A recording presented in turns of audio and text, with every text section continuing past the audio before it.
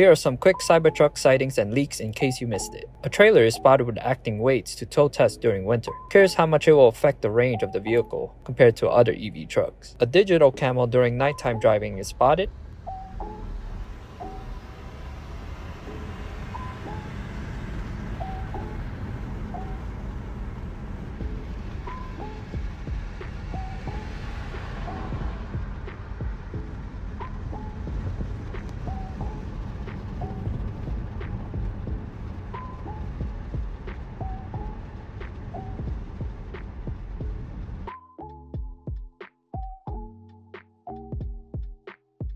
Another Cybertruck supercharging with loads of Model 3s and Y, and we kinda sorta see the size comparison front to back. A close-up view of the new wheel and body panels on the release candidate Cybertruck, but look at the panel gaps. Hopefully it's not on purpose, but the wheel design is looking good. Another closer look of the Cybertruck enclosed in the trailer with folded mirrors. We can also see another wheel design.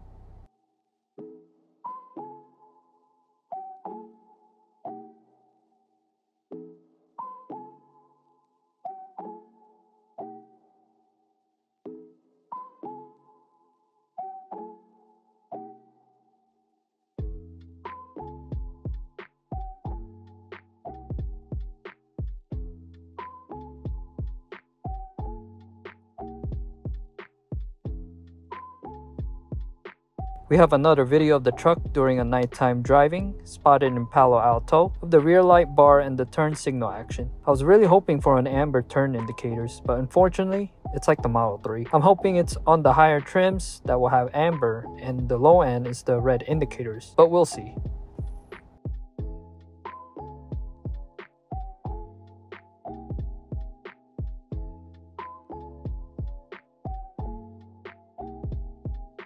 Another photo of the Cybertruck towing with the trailer attached and a light bar at the front of the bumper. We also see a semi transporting a Cybertruck. I'm wondering where it's headed to.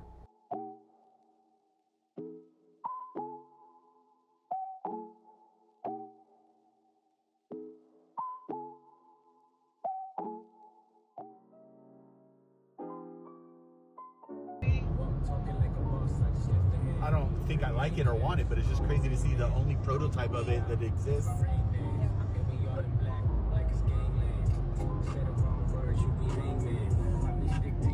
If you look closely, the rear window of the truck is retractable. It's hard to tell, but I doubt that the rear window goes down, since that is where the roll-up truck bed is stored. So there isn't really a space for the window to roll down, but I could be wrong. We have another drone footage taken from Joe, and this time we can see four Cybertrucks line up inside Giga Texas factory.